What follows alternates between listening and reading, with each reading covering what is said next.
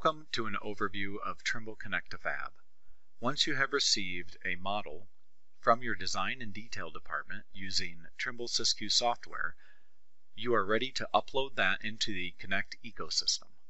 Having uploaded the Connect to Fab demo.ifc file here and loaded it into the Trimble 3D viewer, we are now ready to use Trimble Connect to Fab.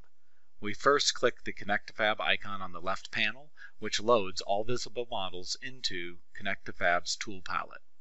As we begin to expand the nodes under our IFC model, we can see that Trimble Connect to Fab supports all three trades. In addition, as we expand, we see categories, subcategories, and spools that were previously defined using Trimble SysQue software. In addition to those predefined spools and categories, we can define our own using Connect to Fab. We will do that by clicking the Add Subcategory button, which adds a new category underneath the level we've selected. By clicking on New Category, we can rename that. In this case, we'll choose Roof Drain, or RD for short. Now we're ready to create our first spool by clicking the Define button. By clicking that, we hide everything that's already part of another spool so that we don't accidentally double spool anything.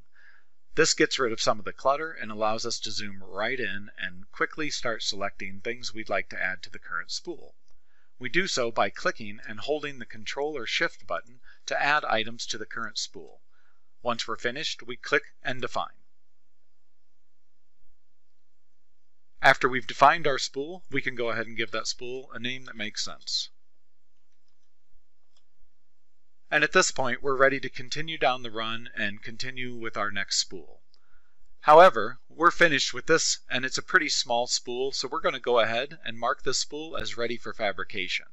Connect to Fab allows users to mark things as ready for fabrication. It allows you to edit the spools, delete them, view them in a painted color, or open the spools for more detail. For more detail, we'll select a larger spool that's a little bit more complex.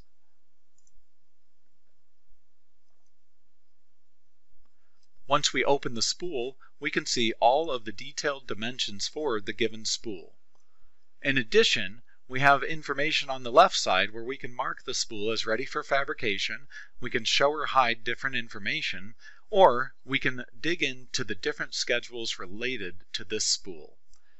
All of the schedules give information needed in order to assemble the spool correctly. In this case, if I click the pipe accessory spool, all pipe accessories are highlighted, and all of the data in the data table shows me exactly the information I need to assemble this.